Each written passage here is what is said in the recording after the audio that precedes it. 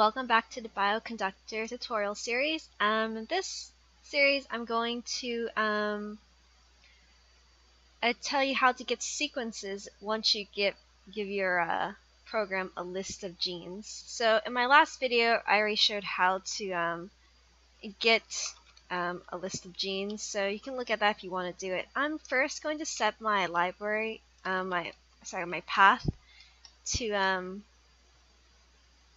to, you know, my actual folder because I actually don't want to work in my documents folder. Um, I'm just going to get my work just to check. Yes, that's correct. So first, I want to start up my library, and that's going to be the BioMart. And that should be fine. Um, and now I'm going to get the human um, genome BioMart thing object and I want to use the Ensembl database and then I want to use the Homo sapiens dataset.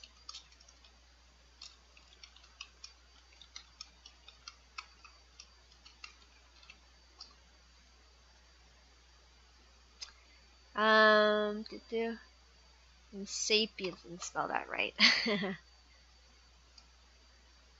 So I always have trouble with that. Um, I just want to check this object is correct. Yes.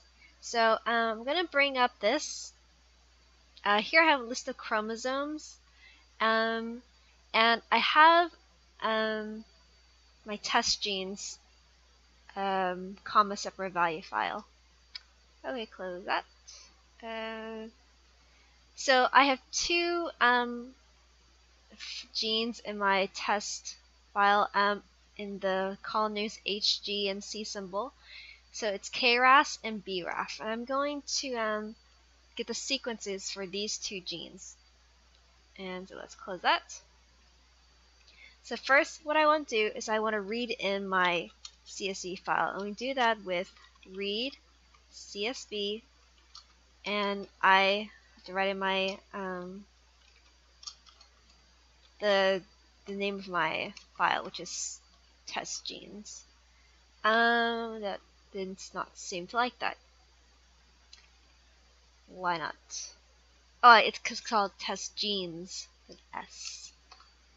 Great, let's just check that, and look, it's it's done it, correct. That's great.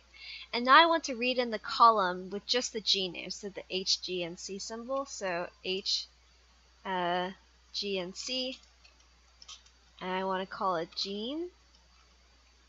Um, and I want to just do the HG and C symbol column. Let's just check that. And now I have just a uh, data list of um, just those two genes. Alright, and now I want to get the pet peptide sequences. So let's see if I can, uh, can move this up? Well, I guess you guys have to just read at the bottom. Hopefully, I can do this. There we are. So um, our sequences is going to be, we want to use the get sequence, sequence, yeah, the get sequence um, command. And if you look at the uh, BioMart, um, oh, sorry about that, my uh, recorder fizzled out. But basically, um, you can use the documentation and you have to write this command. So you have to get use the get sequence command and our ID will be using this vector right here, um, the vector we just made, the H, G, and C um, one.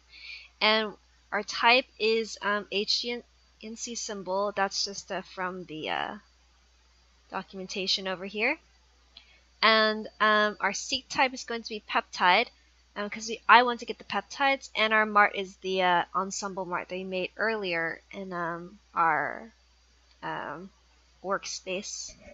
So um, let's just check out, and this took about a minute to run, so it was just me just looking at screen, and then my uh, just used too much memory for my computer. So let's just take out, check out what the seq is here.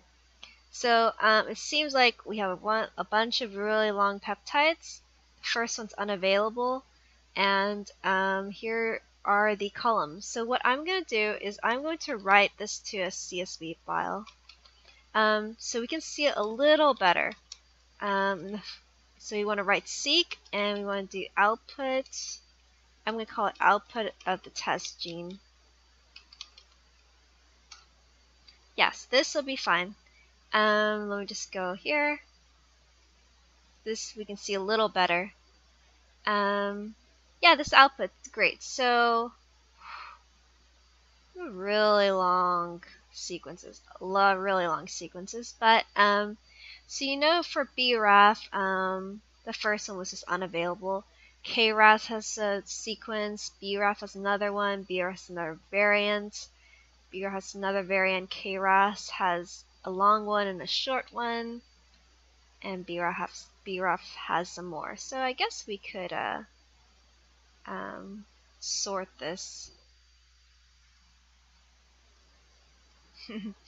guess it does not like this headers. But um, yeah, you can see if we have um,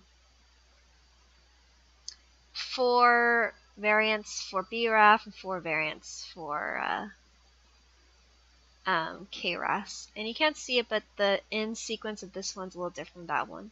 Alright, so this is how you get the sequences um, for your um, for if, if you uh, give it an input of gene names. Alright, thanks for watching and hopefully um, I will think of some other tutorials to do. Thanks, bye!